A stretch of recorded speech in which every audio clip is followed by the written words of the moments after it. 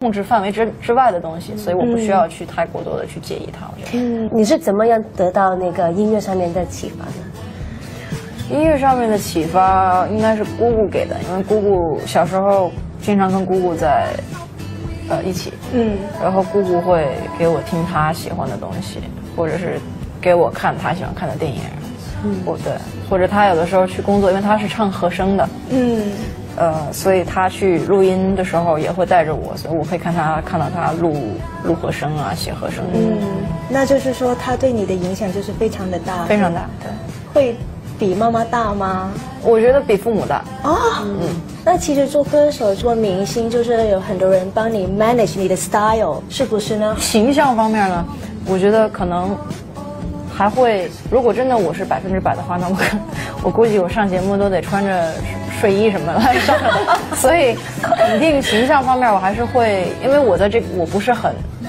介意这，就是我不是很在乎这一方面的东西，你知道吗？就所谓的形象啊，穿什么衣服啊，嗯，呃，所以这方面我还是会一半一半的来，我会一半交给公司去做，一半就是对。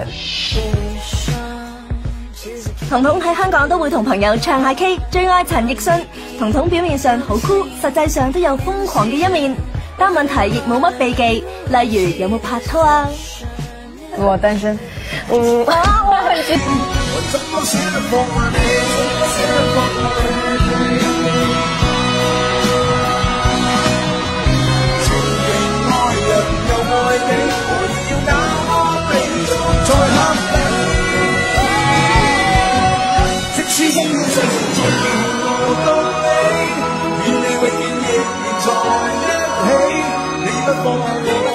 我不放下你，我想独定每日怀住同样一生命。挑选我们是大戏，我两个永无冒险的风景。唯有放弃，还怎么舍得放下你？